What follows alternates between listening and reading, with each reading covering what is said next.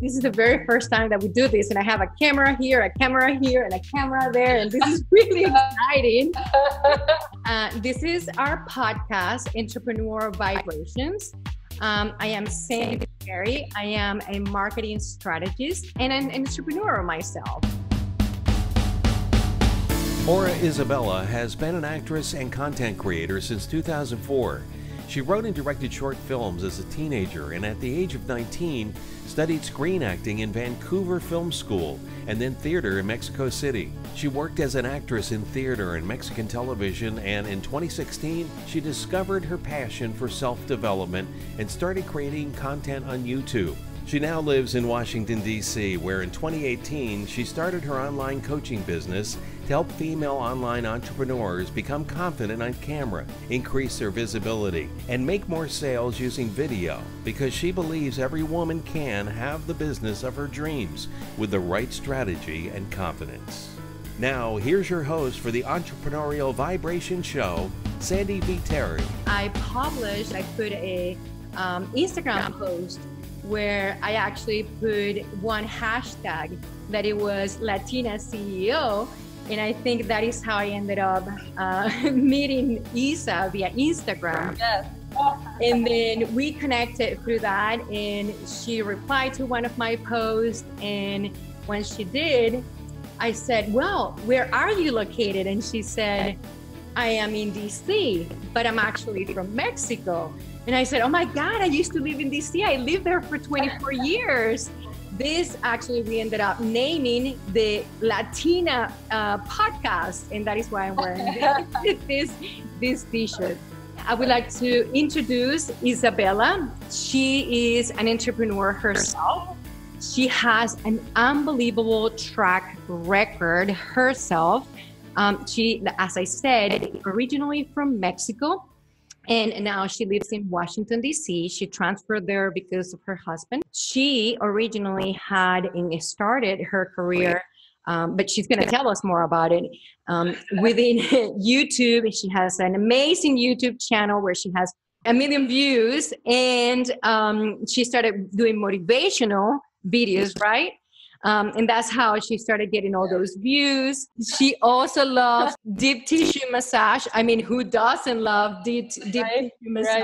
Right. She's an empath, which I'm interested to hear about that because that means um, yeah. you are in a sponge and you absorb a lot of the energy around you. Uh, and as an entrepreneur, you know, you, you need to tell us about that. So, so the very first question for Isa so tell us about your entrepreneurial journey. So I always knew I wanted to be an actor. Like I wanted to go to school for acting. I wanted to actually be in all of the Harry Potter movies. Like that's why what I wanted to do. So I was just like, I'm gonna be an actress and I, I'm gonna get in Harry Potter. That's how I started with like wanting to speak and like having like more artistic, like an artistic inclination. So I was like, I want to be an actor.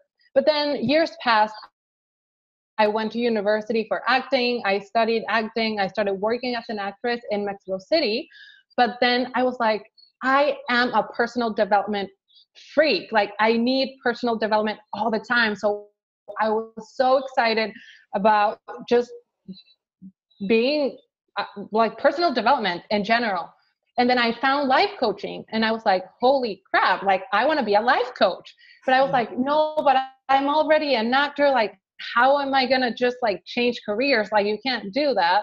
But I like, I just did it. I got certified as a life coach and I was like, I just want to help women. I want to coach people. I want to help them be better. But, but I had just this general idea of what I wanted to do. I wasn't very specific with it. So I decided to start a YouTube channel because I really wanted to talk to women about self love and self esteem. So I decided to just basically start making videos on the videos that I would have liked when I was younger. So I just started um, making videos for, for women and I started gaining a following, mostly very young women uh, and I was helping them there, but they, I was receiving so many questions and so many messages. and I was like, oh my god, I'm so getting all this at the beginning. Sorry to so- interrupt you, but all this at the beginning yeah, yeah, yeah. was answering your own questions and your own needs. I guess it was like exactly. that void that you had within you. Is that how it started? yeah it was like man i wish like five years ago ten years ago i had someone who explained this to me about self-esteem about growing up as about being about sex about relationships. I wish i had that so i'm gonna do this because I, i'm sure another girl out there who's five ten years younger than me will need this. And that's how i started getting this response of girls all around Latin America because my channel is in Spanish, um, thanking me first. And I was like, oh my God, the power of making videos, it's it's just insane. The power of Um, communication. Yes. The power of just putting your message out there, uh, telling your story and connecting with other people is just so powerful. Right. So I was like, I need to start making this more intentional because I was just making, I mean, random videos about what the topic that I was curious that week or, you know, like not very intentional. And I didn't have a business in mind. Um, I started dabbling into the like, influencer thing. Like, you know, you get some like brands talking to you. I didn't do a lot of them because my channel's quite small. It's only 32,000 subscribers. Um, but I started like growing a little bit and then Google, um, I enter this thing that is called the YouTube Next Up, which is a competition that you can enter if you have over 10,000 subscribers on YouTube. So you can enter and then YouTube will select you if you win and they'll fly you to New York and just give you like a lot of tools and equipment just to like better your channel. So I enter that and I I won and then I flew to New York and I got to collab with a lot of really big influencers. Um, and I was like, I really like this. Like I really like but I was missing this thing because I was talking to all of these influencers and I really liked what they were doing, but I was missing the business a- aspect of it. So How there, were you at this point in time?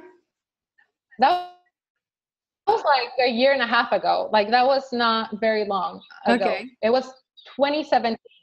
So I I was like, I really like this whole influencer thing, content creator thing, but I really want to start a business. Like I really need the business part of it because Mhm. I don't own YouTube. I don't own social media. So if Mhm. YouTube dies tomorrow, I won't like I don't have anything. Um, and I've started businesses before in my life. Me and my mom, she's watching right now. Um, we Hey, started like started a vegan a vegan cupcake uh, business. We we've we've done our stuff. Me and my mom have we are very creative. Um, so I knew I I wanted to start. you got that gene business. from her. That's really good. You got that gene from her.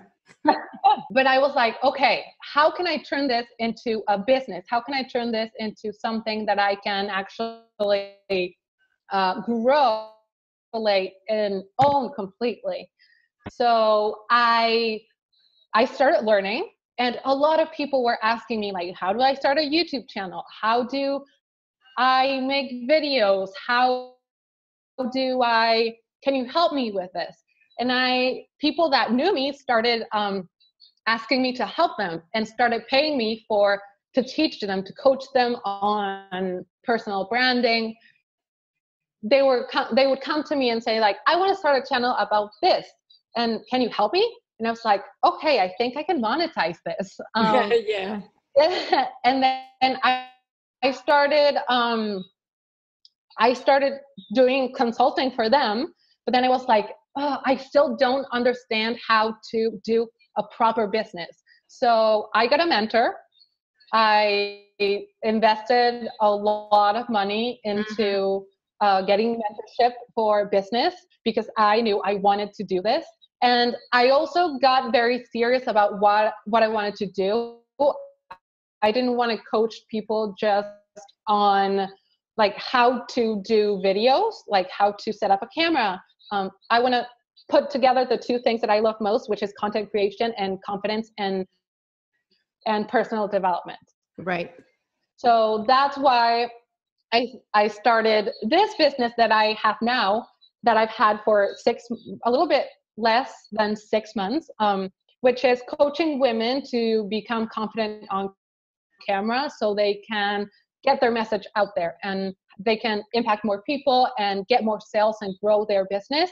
So, because I realized that a lot, a lot of coaches have such great ideas, such great messages, but they're just so afraid of being seen and of like failing, of being being in front of the camera. So I'm like, girl, I want to help you. So that message goes out there and and gets seen because like the world needs our messages um right so that's that's basically my story that's how i that's how i started in the internet space well it's pretty amazing time for you because obviously um you know you, you have worked hard you know it's it's been a journey. It's it's not just a point in time. You it's not like oh i got the training i am done i'm finished now i have my business. You continue to educate yourself. You got the coaching and now you're building your business and now you're um, getting your customers. Um, but but it's a process right it's a journey um, now for all the viewers out, out there and now for the people that are going to end up you know seeing this podcast um, there have been other things that have happened in your life, such as you moved. Now, we would love to hear from you. Tell us on the comments below. Was this advice helpful to you today? And how can you put some of what you learn into practice right away to start to see a difference in your entrepreneurial journey? Also, don't forget, if you found this podcast helpful, make sure to subscribe, share with your friends, and hit the like button so we know to make more podcasts like this one.